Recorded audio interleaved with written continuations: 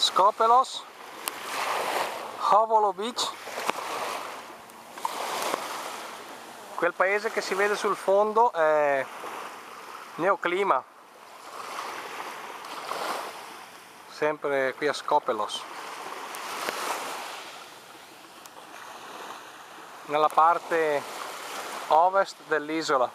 Infatti sullo sfondo si vede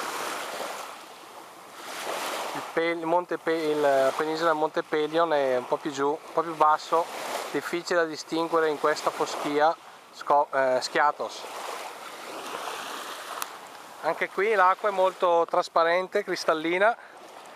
Vedo dei ciotoli di sasso sul fondo. Sabbia qualcosa eh, sulla spiaggia. Non so se più avanti c'è sabbia vediamo poi quando andiamo a fare il bagno è una spiaggia non tanto lunga. Direi che sarà 200-250 metri eh, circa. Per arrivare qui basta camminare da, Neocli da Neoclima si passa, ci sono quegli scogli lì. E l'unico pezzo dove diciamo, si cammina nell'acqua per pochi metri. Superato qualche scoglietto a pelo d'acqua stanno attenti a non scivolare. Si cammina lungo questa spiaggettina e uno adesso decide dove fermarsi. Se qua o se andare giù più in fondo adesso verso la fine della spiaggia dove c'è quel, quella roccia che arriva al mare. Dietro quella roccia eh, si dovrebbe vedere la spiaggia di Melia o Melia come gli accenti dove metterli e la spiaggia di Castani dove siamo stati questa mattina. Quindi a poche distanza di pochi chilometri l'una dall'altra ci sono queste tre belle spiagge molto simili dal punto di vista acqua tutte belle trasparenti. C'è solo imbarazzo della scelta. Qui la spiaggia è molto stretta come avete visto pochi metri perché dietro c'è eh, subito una roccia molto alta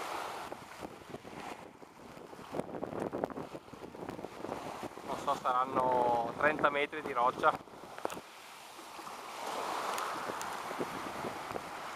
Roccia molto bianca di conseguenza anche i sassi e la sabbia qui sotto sono, sono di questo colore. Sono circa le le 5, anche 5 passate del pomeriggio del 12 agosto 2010 come vedete non è una spiaggia molto affollata tutto sommato. C'è più gente se andate a Emilia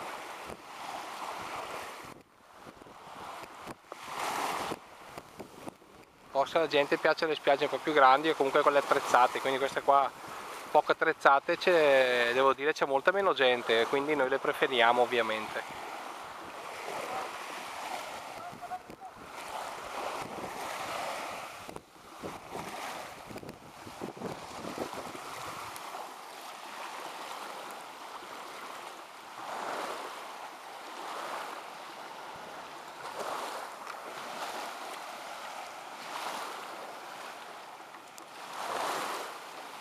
ecco là qualcuno che sta non so se sta arrivando o se sta andando via. Vediamo.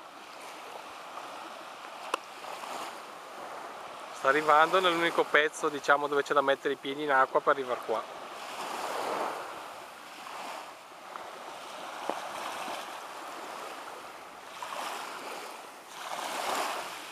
E voilà.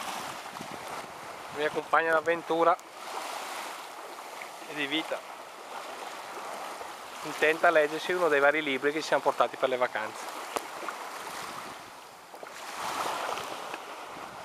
Sempre sulla stessa spiaggia, un po' più in là, ogni tanto c'è qualche rientranza, poi c'è qualche scoglio che riesce e qui la parte finale della spiaggia dove è un po' più largo. Adesso ci avviciniamo un po' alla fine della spiaggia cammino piano per via delle vibrazioni.